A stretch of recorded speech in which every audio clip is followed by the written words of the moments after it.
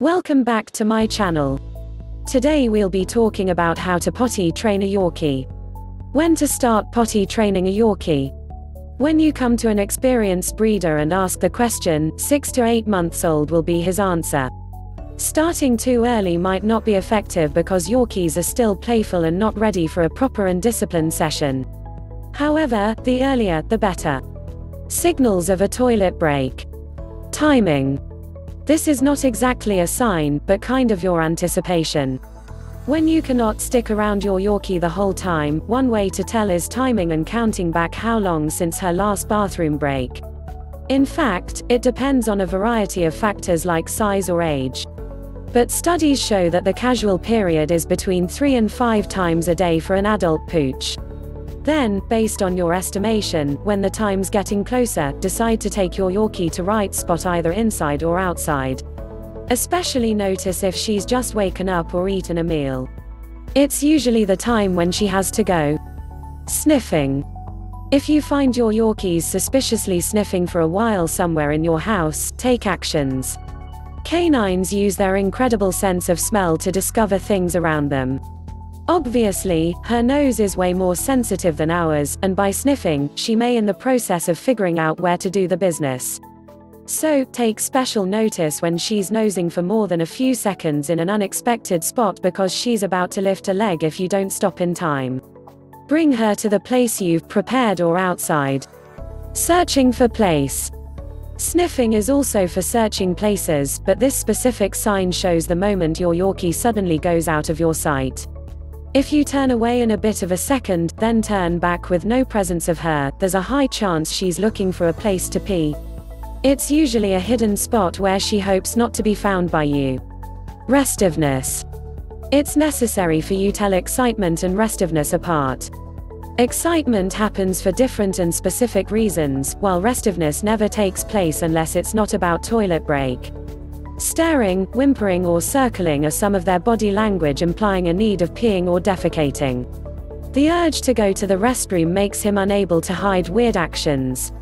How to potty train a Yorkie. Step 1 Creating a bathroom area. If your Yorkie is still a puppy of a few months old, this is a dispensable step to take before bringing a puppy home. The first step on how to potty train a Yorkie is creating a bathroom area. Define a specific location to make your Yorkie come when the urge arises. If you have yard with grass, toileting outside is not a bad choice. Another option is preparing a spot inside the house where she can eliminate under your supervision. Setting up an appropriate and safe place inside seems to be more of an ideal option. The spot should be easily accessible and away from sensitive rooms like the kitchen or bedroom. Step 2 Observing. Your Yorkie cannot go to the right spot without your observation. You'll never succeed if you train one day and leave them alone for the rest days. Training requires repetition under your observation. Your dog needs a pack leader to lead him overcome the challenge. Be on hand at all times. I know that's quite time consuming but worthwhile. Just make yourself ready to pick your Yorkie up at the first sign of emotion. Immediately move to the designated area. Step 3 Crate Training. In order not to make allowance for your Yorkie to hang around and pee anywhere she finds comfortable, Crate will be a great tool to lock her. You should build it a safe haven as comfy as possible. Even though it's still a crate with walls surrounding, she shouldn't feel suffocated and inconvenient at all. As long as she considers it a kind of punishment, no way you can escape from her annoyance. Crate training is all about telling your little buddy that it's a secure and wonderful place to stay and enjoy peace. Providing what she loves like her favorite toys, bowls of food and water and of course, a toilet pad. The point here is just to create comfort for her to be inside during the night or when you're away. Once she associates pee and poo with the convenience of the crate, there's nothing you should worry about. Step 4 Rewarding and praising. Always reward your Yorkie after she goes toileting in the correct spot. As she knows she would be rewarded, she will have the will to follow your orders more. Praising her, too. Verbal praise tightens your harmonious relationship with your little Yorkie. After rewarding and praising, don't put her back into the crate right away. Because that might be a sign of punishment to her. Play with her for a while. 10 minutes would work. Step 5 Practicing.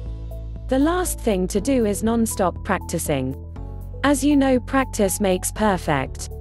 The more your Yorkie practices, the more obedient and compliant she becomes. That's all I want to share today about how to potty train a Yorkie. Interested in more information about puppies, dogs, and ways to train them effectively? Subscribe and follow us. Thanks and love you all.